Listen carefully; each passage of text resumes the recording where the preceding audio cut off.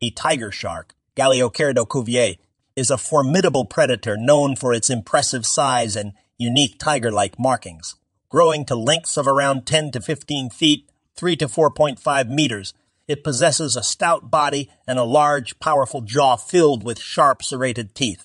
Its dark gray or bluish gray skin is adorned with vertical stripes, resembling those of a tiger, hence its name. As opportunistic feeders, tiger sharks have a diverse diet that includes fish, sea turtles, seals, birds, and even other sharks. Their adaptability, combined with their strength and hunting prowess, make them a top predator in their marine habitats.